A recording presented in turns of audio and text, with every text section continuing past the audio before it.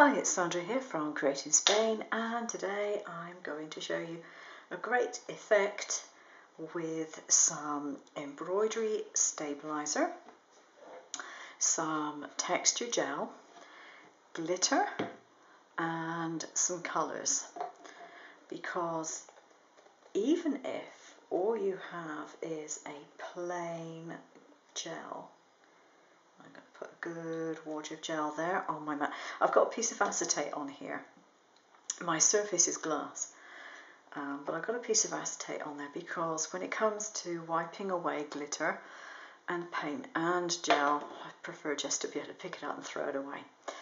And what I'm going to do is to mix in some silver glitter with this. Now you could use whatever glitter colour you fancy, but I'm just going to use some silver and I'm going to take a palette knife and I'm going to mix this together before my room fan decides to blow around everywhere. So now it looks a bit weird because it looks as though it's gone grey but it won't be when it dries, don't worry. It'll be nice and clear. So I'm going to take hold of that and move it to one side go, and move the other watch up to this side.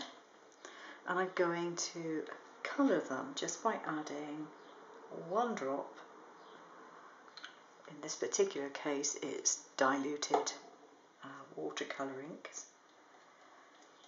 And this one is going to give me a very, very weak colour. Mm, not strong enough. So I'm going to get something which a little stronger.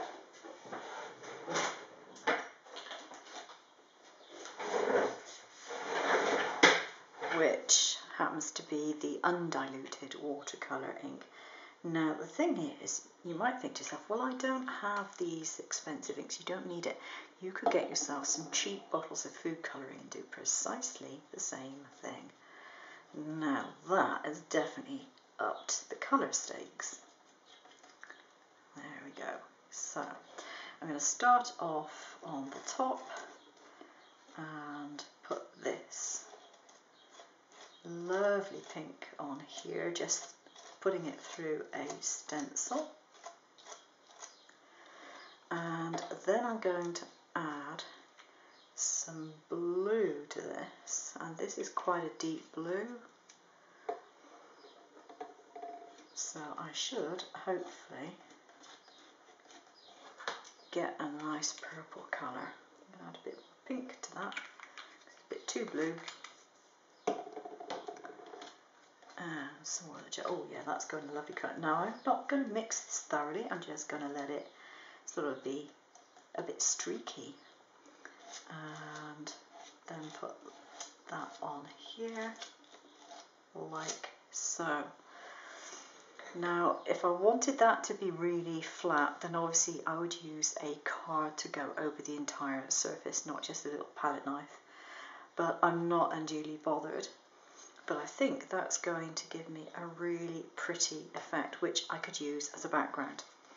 Now I've just used a stencil which I've cut out of card if you are going to reuse it, you would have to use one which is made out of a waterproof material. So that's that. Now, if I wasn't about to use a stencil, just add it into my background bits, like that.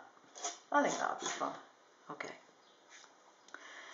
Now the reason I've chosen to do this on this embroidery backing is because and I've got some samples here. This is done on a black card, but as you can see, because of the moisture in the gel, it warps it.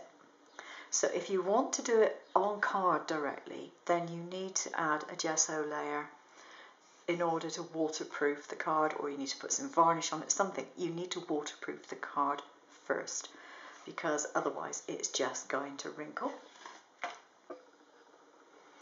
This has now had time to dry and I hope you can see on camera it shimmers and shines with variegated colour. It's just pretty spectacular.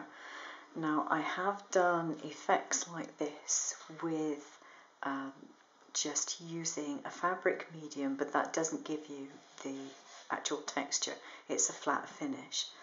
But that I think would look superb as a background or possibly die cut into different shapes for accents on cards. And this would make a really nice background for something to be put in front of it. I can imagine things like, you know, owls on branches, that type of stuff. I have cut out the one that I did on black card. Um, it is a bit wavy, but it could still be used if it was put onto a foam mount, something to give it a little more support on the back, because it's certainly not flat. But this is perfectly flat. This, it doesn't make any difference how wet it gets. And that is one of the brilliant things about it. It also retains some transparency, which is fun.